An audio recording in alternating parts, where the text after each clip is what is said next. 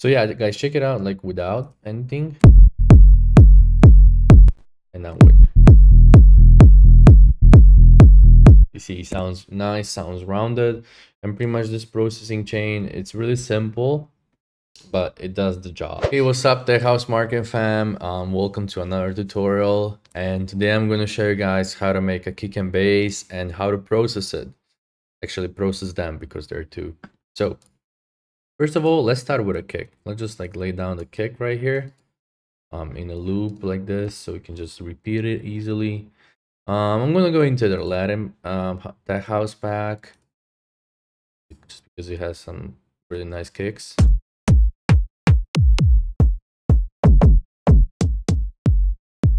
Let's maybe choose this one because on this one I can show you guys a little bit more um, technique wise.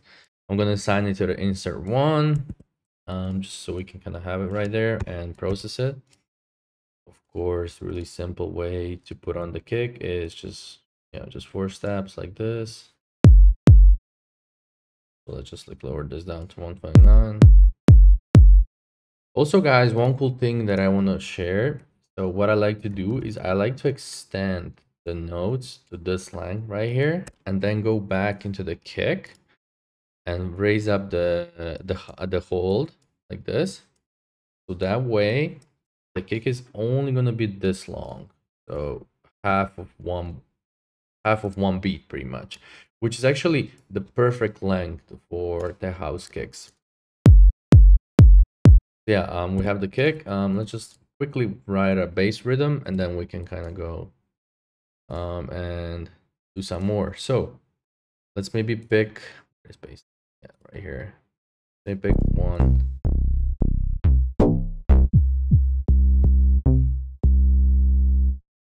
Let's maybe see in the peak peak hour the house. Maybe we can find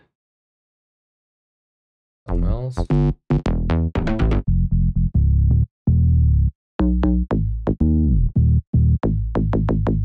I really like this. I'm just gonna take this loop right here, and I'm just gonna take the first note. So yeah, like this. Oh, exactly do the same with a hold. So it's just gonna pretty much play the note. And also put it up in a key. So it's in A. Yeah, A A. Okay, perfect. And now we can play this. Maybe something like this. I will still see how the rhythm works.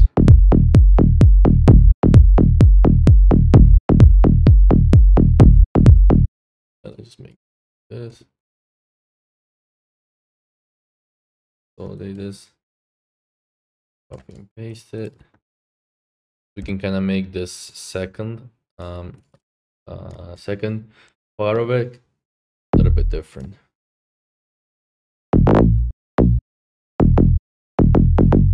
Maybe sound like this. That should be.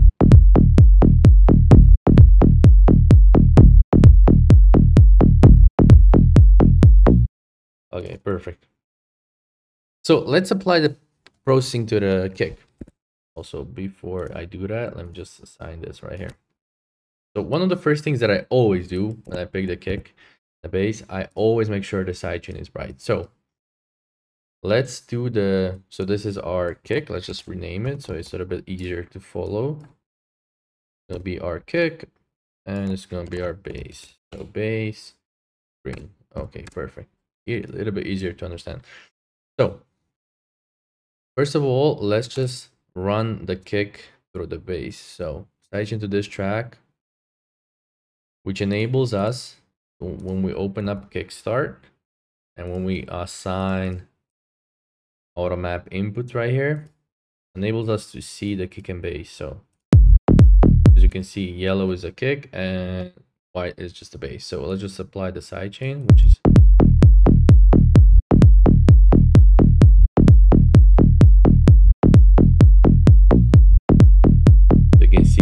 already sounds way better. So this is this is without sidechain. This is with sidechain. Let's maybe lower this down.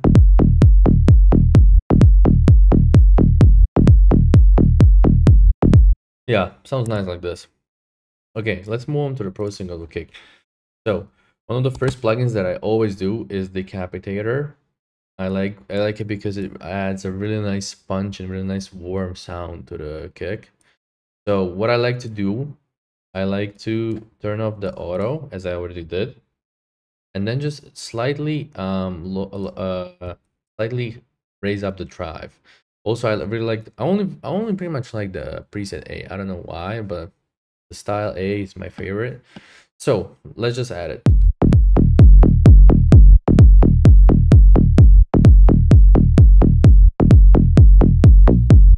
Also, when you click on here, on the names, you can kind of see a little bit more in depth and you can see this pretty much percentage and everything. Just a small cool, cool tip about the Decapitator.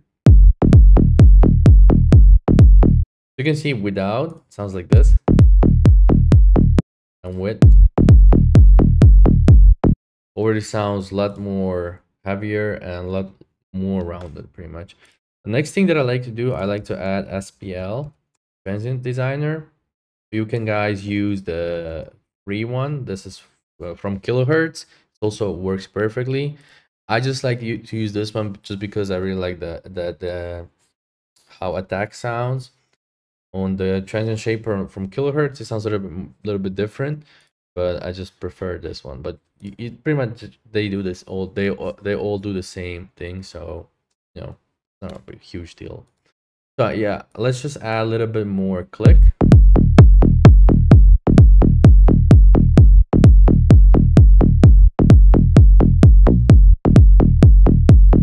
Okay, perfect.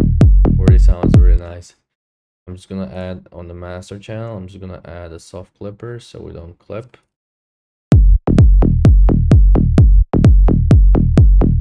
Yeah, sounds so much better. Okay, so the next thing that I want to do, I just want to saturate on the kick, just the the thumpy part. So the thumpy part is from around like 120 hertz to like 300 hertz. So pretty much this area right here. Let me just show you guys. So the kick. You can see this part. Oh, sorry. You see, I pretty much just want to saturate that part right there. And I want to add a little bit more thump. So the the way I like to do it, I like to choose the warm tube. Either warm tube or warm tape, just depends like what you pick. Um, I will turn this off and off right here. So we just kind of solo this area right here. Now if we can see. You can see it sounds a little bit more thumpier. Um yeah so check it out without. Yeah sounds sounds way way way better. Um the next thing that i like to do is i like to apply a little bit of this black box. Just a little bit. You see um just a little bit. I'm not doing anything major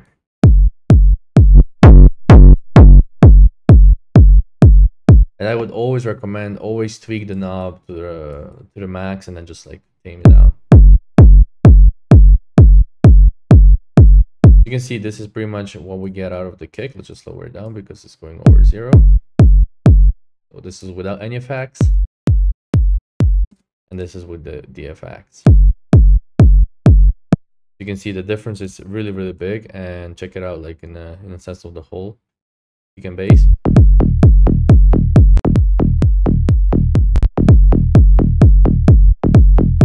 So you can see our kick is ready. It sounds really nice. And now we need to move on to the bass. So for a bass line, there's a couple of ways. Sometimes a single sound Soundgoodizer can do the job. So check it out, for example, maybe right here.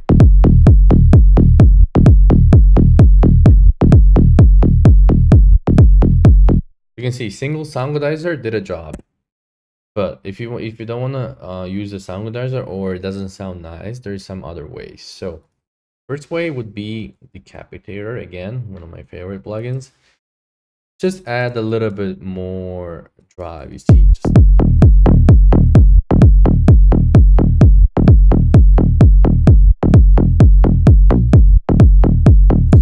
sounds nice.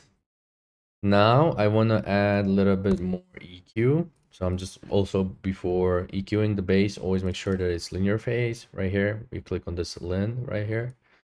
And pretty much what I like to do, I like to move all of those guys like this.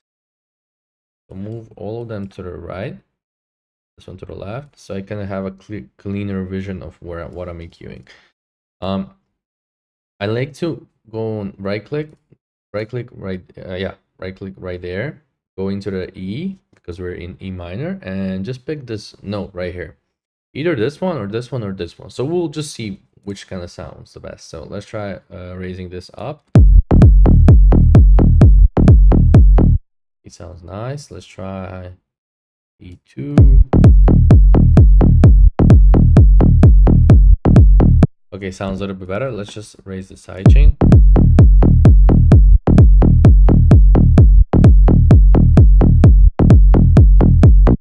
Perfect. Sounds really nice. You can see we kind of added some of the 80 hertz into the bass and it already sounds a lot better. Let's maybe add another plugin. It's gonna be um where is it? One sec. Uh, okay, yeah, the uh, limiter. So this is really con um, contra uh, controversial because not a lot of people limit their bass lines, but I'm a huge believer that if something is quiet, you can just take a limiter and make it a little bit louder. And I've been doing this for my songs and it seems it's been working. So you can see the bass is just like, it's just missing like a little bit. Um, yeah, also you can see I'm just lowering it down. So we can maybe even raise this up, but still I like to push it to the limit and then just go back. So maybe just adding 1 dB, 1.1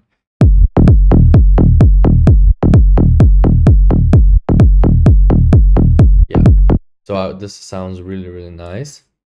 I would just layer the kick with another kick. I'm just going to show you guys this as well. Maybe with something clicky. Maybe this one. So pretty much the same processing. I should do it like, do it like this. Also copy and paste it and just make sure that we get rid of everything in the long one so like this linear phase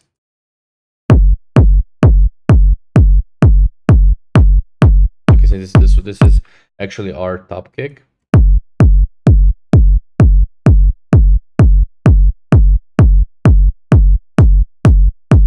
we chose this one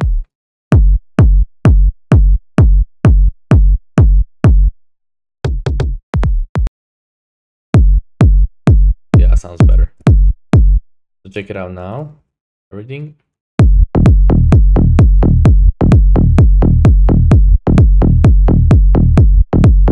Also, um, if you guys, I mean, if you're if you don't want to chop loops on there or something, I'm just gonna um as, as well show you guys processing. For example, if we took a serum patch or we made it from scratch, or actually do that.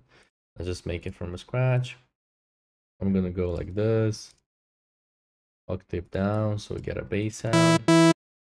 Also lower down the MG low, maybe even more. Randomize to zero.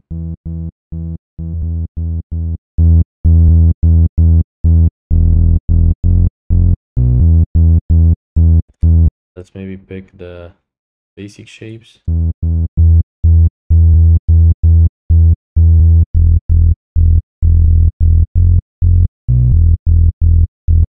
Also, I was thinking about actually, I just remembered this extremely nice preset that I want to show you guys. It's in, uh, yeah, right here. Uh, I think it's low rider bass. Yeah, this one. Yeah, this one. Yeah, let's start with this one. So let's assign into the same bass right here. I'm just going to disable the effects. And let's start it from scratch. So we have this. So you see we're missing some of the the decap it yeah some of the the pretty much the the mid range in the bass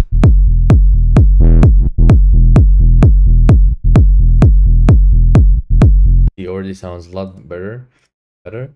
Um so for this i would actually go with a around 164 just because you already have if you look at the, the graph right here we already have enough bass sub bass so getting a little bit more mid-range out of it is gonna sound nice.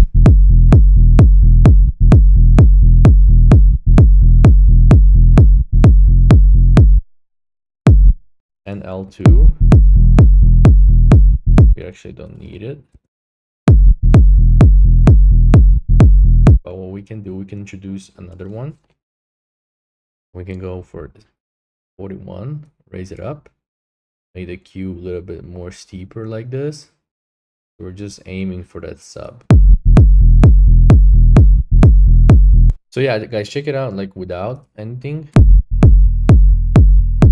And now with